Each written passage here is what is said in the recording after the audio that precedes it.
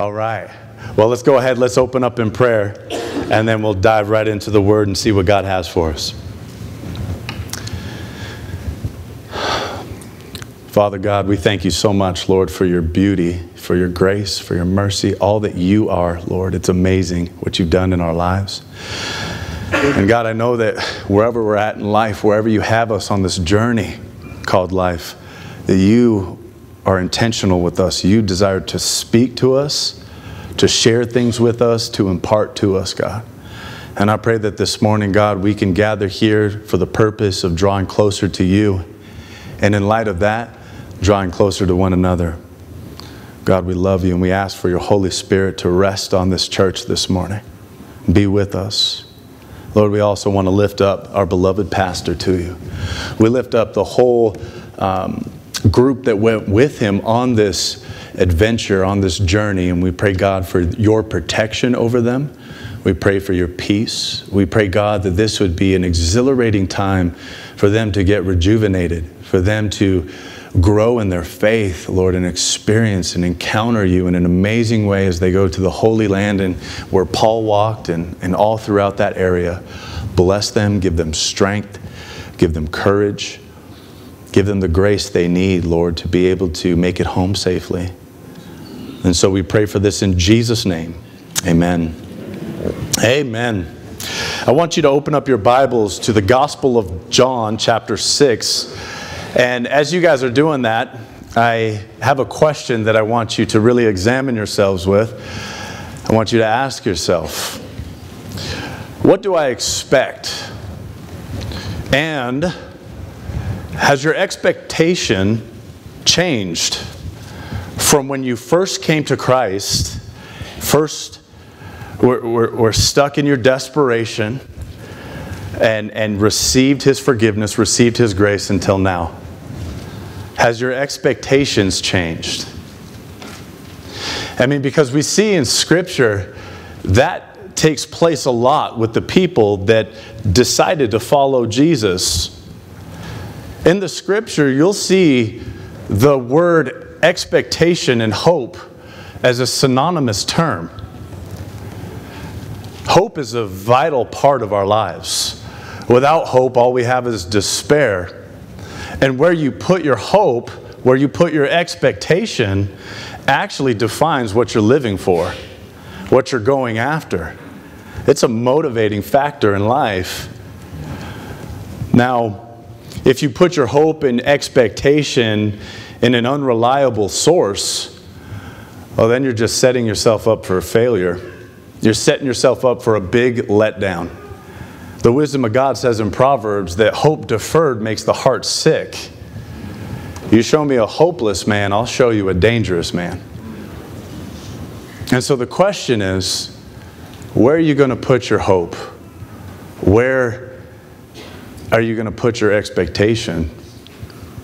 Has it changed since you first came to Jesus until now? Unmet, unmet expectation is an open door for the devil to come in and steal your joy. Now, as you have opened your Bibles to the Gospel of John, chapter 6, uh, most of us are familiar with this passage, the storyline that we see here. This is where Jesus feeds the 5,000. Now, you'll read in the beginning of this chapter that many came to Jesus because they saw the miracles which he had done, and so they pursued him to be able to hear his word. And so you have this multitude coming to Jesus now, and they're getting weary, they're getting tired, they've, they've traveled for miles upon miles. And Jesus turns to his disciples after he sees this multitude of people. It says 5,000 men. That's not counting the women and children that were there. And he says to Philip, one of his disciples, Where are we going to get bread that all these people can eat? I mean, man, way to put somebody on the spot, right? I mean, if I was Philip, I'd probably be like, You're God. I don't know. But he comes up with something real witty and says something like, you know, 200 pennyworth of bread isn't sufficient that all of these people may eat or just have a little piece. Now, 200 pennyworth was over 200 days' wages. And so Jesus uses this scenario to be able to show his glory. And he actually has all of the people sit down in groups of 50 upon the grass. And there's this boy here that has five loaves of bread and two little fish. And so he says, Give me that. I'll take all of it. I mean, Jesus could have done the miracle with just one loaf and one fish, but usually he wants all you got, right? And so he takes the five loaves and he takes the two fishes and he does this miraculous miracle and multiplies it, and everybody eats. He gives to the disciples, and the disciples uh, distribute to all the people that are there. Now, when this takes place, everybody's happy, right? I mean, food was hard to come by at this time. And here, this miracle worker was that could multiply food. And so everybody was lifting him up and, and rejoicing because, hey, you know, food's hard to come by, and here this guy is, and he's multiplying food. They wanted to make him king. And so I want you to look at what it says in verse number 15 here. Scroll with me. Verse number 15, look at the way that Jesus responds here as the, the, the, the multitude wants to make him king. When Jesus therefore perceived that they would come and take him by force to make him a king, he departed again into a mountain himself alone. Because Jesus knew that this isn't the way that it was supposed to be. Jesus didn't want to be their immediate gratifier. He didn't want to he didn't want to be their walking EBT card. You see, back then, you didn't have your local Costco down the street. And so this was, this was a big deal. Here a man is that, that can multiply food when food is so scarce and so hard to come by. The people wanted to make him king because of this, because it was convenient, but Jesus knew that this wasn't the way it was supposed to be. So he departs and he goes by himself alone to seek God's will. And when that takes place, the disciples kind of calm the crowd down and want the crowd to disperse and go back to their homes. And then the disciples take up ship and they, they follow Jesus. And throughout the night, uh, some events take place to build the disciples' faith. And then the next day, they come into a city of Capernaum. And everybody, the multitude of people, wake up in the morning and they remember, they remember that this, this, this man was a miracle worker, someone who, who could satisfy their empty bellies. They were looking for some breakfast. And so they took up shipping and they followed the disciples and followed Jesus the next morning. I want us to pick up the reading again here at verse number 24. Verse number 24 When the people therefore saw that Jesus was not there any longer, neither his disciples, they also took up shipping and came to Capernaum, seeking for Jesus. And when they had found him on the other side of the sea, they said unto him, Rabbi, when camest thou hither? Jesus answered them and said, Look at what he look at what Jesus says here. Verily, verily, I say unto you, you seek me not because you saw the miracles, not because you saw the signs of who I was, but because ye did eat of the loaves and were filled. Now, wait a minute. In the beginning of this chapter, it says that all of the people followed Jesus because they saw the signs. They saw that, that, that this man was the expected Messiah. But then some circumstances took place. What happened? They got blessed. They got blessed materialistically, physically, naturally. And because of that, now their expectation had changed. Now they were looking for the handout. And Jesus calls them out right away and says, You're not seeking me because you saw the miracles anymore. Now you're seeking me because your bellies got filled. You're looking for breakfast. And then he drives home this point in the next verse.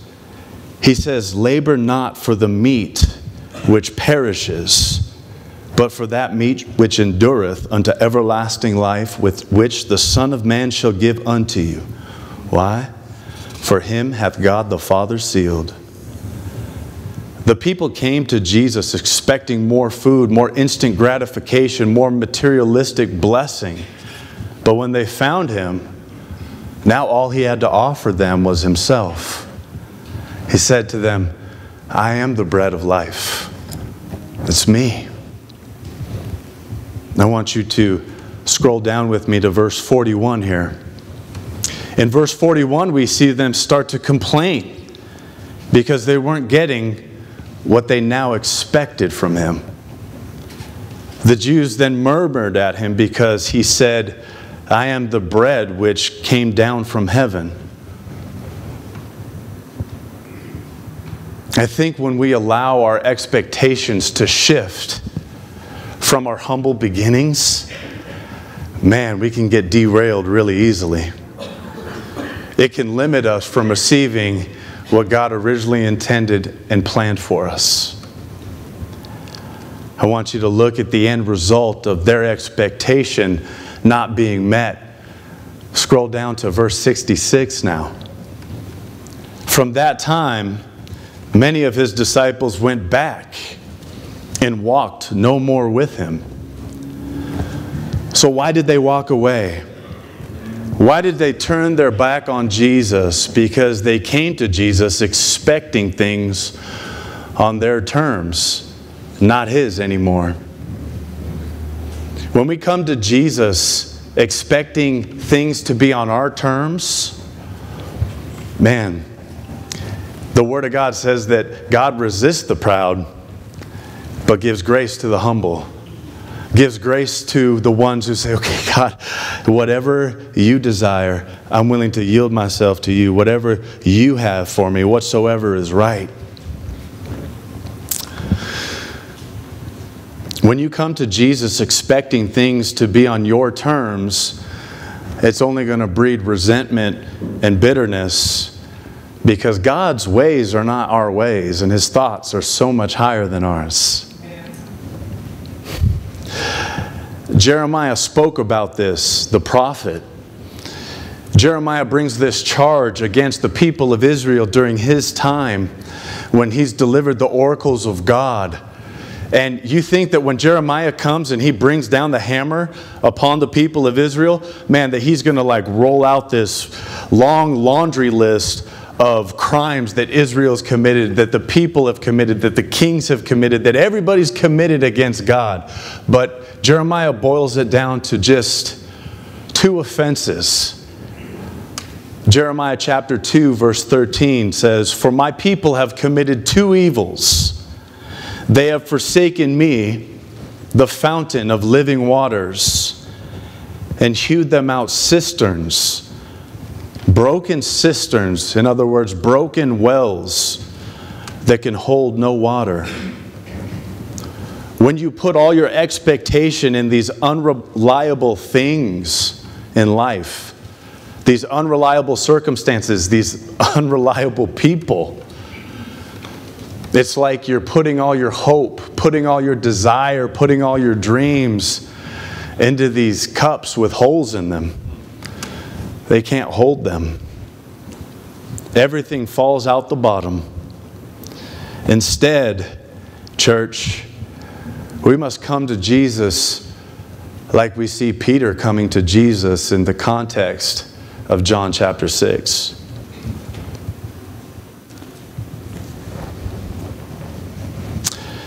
I want you to look at the, the question that Jesus asks Peter in the next verse, in verse 67, after he sees the multitude of people leave Jesus turns to Peter, says, Then Jesus said unto the twelve, Will ye also go away? Then Simon Peter answered, Lord, to whom shall we go?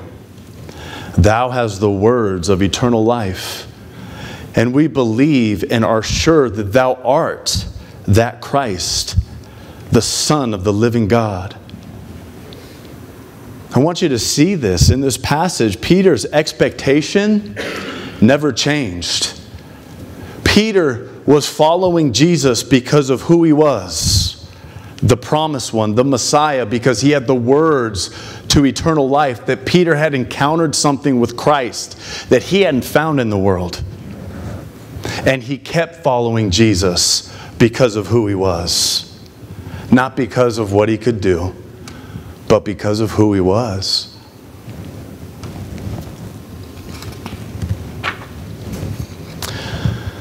In Luke chapter 9, Jesus is telling his disciples what they can actually expect when they choose to follow him.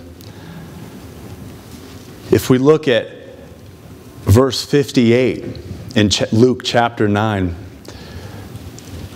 and Jesus said unto, unto them, unto him, Foxes have holes and birds of the air have nests, but the Son of Man has not where to lay his head. And he said to another, Follow me. But he said, Lord, suffer me first to go and bury my father. Jesus said unto him, Let the dead bury the dead, but go thou and preach the kingdom of God. And another said, Lord, I'll follow thee, but let them let me go first. Uh, but let me first go bid them farewell which are at my house. And Jesus said unto him, No man having put his hand on the plow and looking back is fit for the kingdom of God. Those are some tall orders. But Jesus never pulled any punches. He told it exactly how it was. And we see that. Jesus actually, in Matthew chapter 20, and I want you to turn here with me, tells us a, a, short story with a spiritual meaning behind it, and it's really encompassed around where we're going to put our expectation. And I want you to turn here with me, Matthew chapter 20. And we're going to begin here at verse number 1. For the kingdom of heaven is like unto a man that is an householder, which went out early in the morning to hire laborers into his vineyard. And when he had agreed with the laborers for a penny a day, he sent them into his vineyard. And he went out about the third hour and saw others standing idle in the marketplace, and said unto them, Go ye also into the vineyard, and whatsoever is right I will give you. And they went their way. Again he went out about the sixth and ninth hour, and did likewise. And about the eleventh hour he went out and found others standing idle, and saith unto them, Why stand ye here all the day idle? They say unto him, Because no man hath hired us. He saith unto them, Go ye also into the vineyard, and whatsoever is right, that shall ye receive. So when even was come, the Lord of the vineyard saith unto his steward, Call the laborers, and give them their hire, beginning from the last unto the first. And when they came that were hired about the eleventh hour, they received every man a penny. But when the first came, they supposed that they should have received more. And they likewise received every man a penny. And when they had received it, they murmured against the good man of the house, saying, These last have wrought but one hour, and thou hast made them equal unto us, which have borne the burden and the heat of the day? But he answered one of them and said, Friend, I do thee no wrong. Didst not thou agree with me for a penny? Take that thine is, and go thy way. I will give unto this last, even as unto thee. Is it not lawful for me to do what I will with mine own? Is thine eye evil, because I am good? So the last shall be first, and the first last. For many are called, but few are chosen. Jesus shares this, this small story to make a point to Peter. In the prior chapter, in Matthew chapter 19, we see the rich young ruler come to Jesus, and, and this is a, a boy that is performance based, crosses all the T's and dots all the I's. I mean, this is, he's on an accelerated fast track to success, very disciplined in his own willpower. And he comes to Jesus and says, Jesus, what do I have to do to inherit eternal life? Jesus goes, Oh, well, you know, keep the commandments. The rich young ruler says, Which ones? Jesus lists off a few of them. The rich young ruler says, Got him from my youth up. Jesus says, Okay, you want to be perfect? Go sell everything that you have, take, give it to the poor, take up the cross, and follow me. And then, see, this is just, just too much.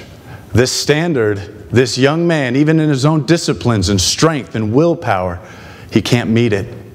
And so he begins to walk away sorrowful. And Peter's sitting back with the rest of the disciples, and they're seeing what's taking place here. And Jesus says, It's so hard. It's so hard for a rich man to enter into heaven. It's easier for the camel to go through an eye of a needle than for a rich man to enter into the heaven. The disciples are like, who can then be saved? Jesus says that with man it's impossible, but with God all things are possible. And then Peter, I love Peter because he's always saying what everybody else is thinking. He has no filter. And he says, Well, Jesus, we've left all and followed you. What are we going to get there for?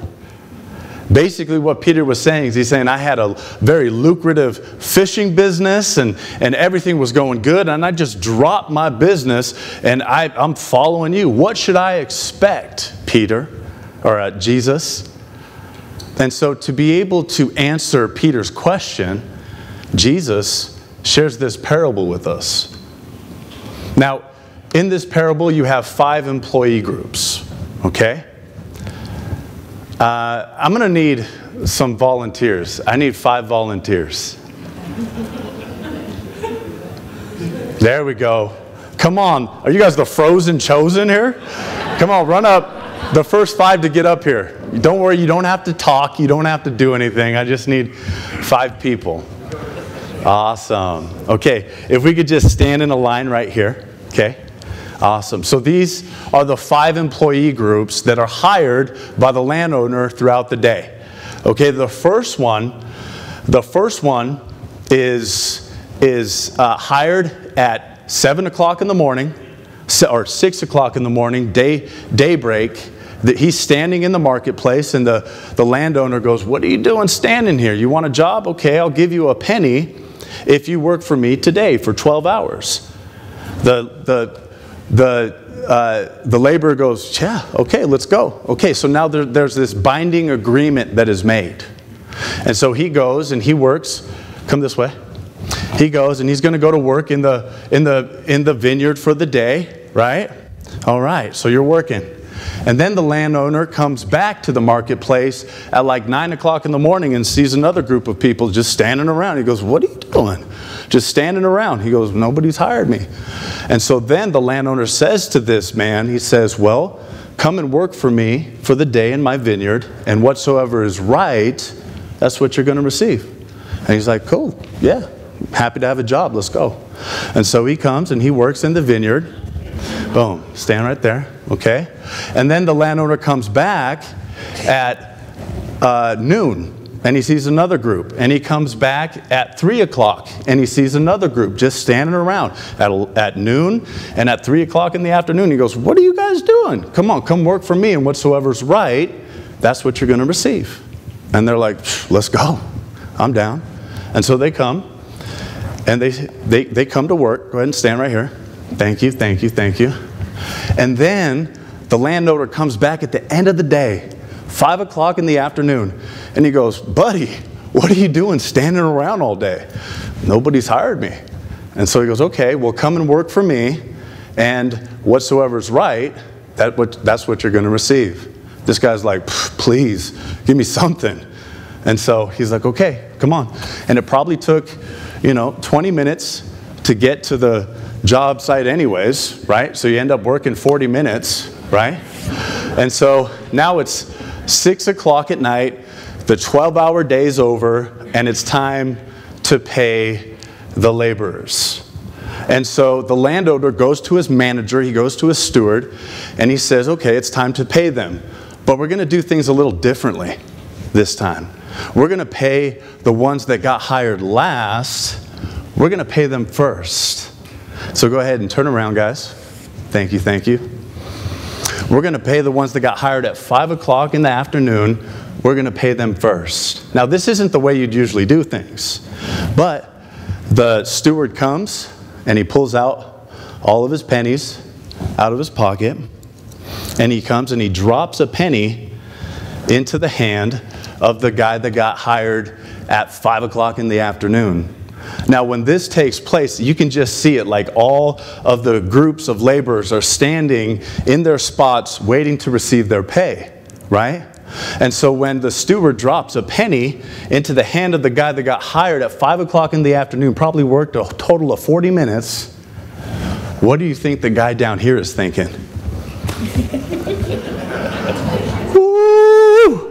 We're going to get paid today, right?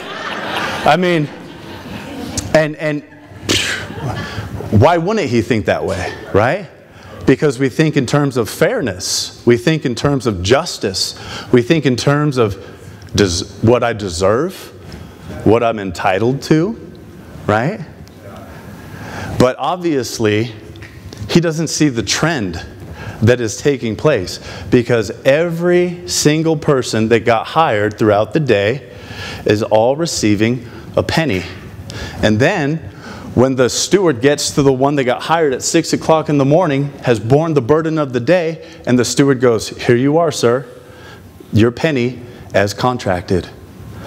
Then the one that got hired at six o'clock in the morning is just taken aback. Oh, I can't believe what? You made us equal to the ones who have us who have borne the burden of the day, the 12 hour day, equal to the guy that just got hired at 5 o'clock in the afternoon, and they begin to murmur against the good man of the house. And I want you to think about that. We look at stories like this, and we think about the people that sit here and we go, what a bunch of entitled jerks, right? But here's a news flash for you. We are these people. We are so right here I mean, I deal with it all the time in the Good Samaritan Ranch. I do. Especially, you know, the, the young kids that graduate the program, they come to mom and dad, they go, Dad, mom, I'm saved now. Give me the keys. It's like, I don't think so. Uh uh. Right? But we think that now that things are different, now that we're saved, we're entitled to something. Right? Or how about this one? Man, I, I, I logged a whole 20 minutes on my face this morning, God, and this is how my day's going to turn out? This is just ridiculous. I can't believe this. Or this is a good one that I hear a lot.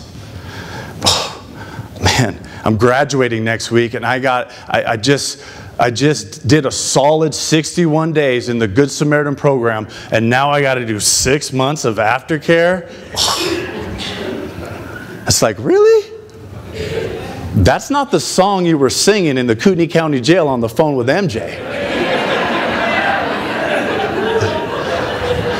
and I want you to notice this. Do you see how his expectation shifted? In the morning, early in the morning, bitch, yeah, man, I'm going to put my boots on and I'm going to work today and I'm going to work all day long and I'm going to earn what I got coming. But it's crazy how throughout the day, and, and why do you think that, that this group of people, why their expectations shifted? What caused that shift in their expectation? Paul put it very clearly in 2 Corinthians. He said, when we start to compare ourselves amongst ourselves, it's never a wise thing to do. Now think about this. What if what if the landowner would have paid the employees in the way that you would usually pay people? Like starting at the one that got hired at uh, six o'clock in the morning, if, if he received his penny, he would have just went, thank you, and went right on his way.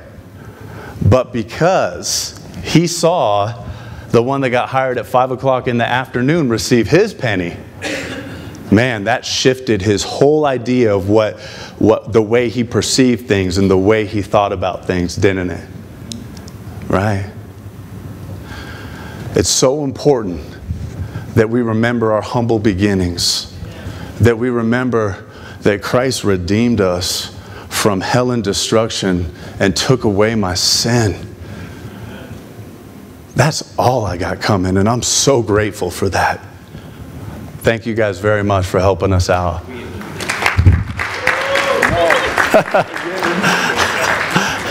Amen. Bless you guys. Love you.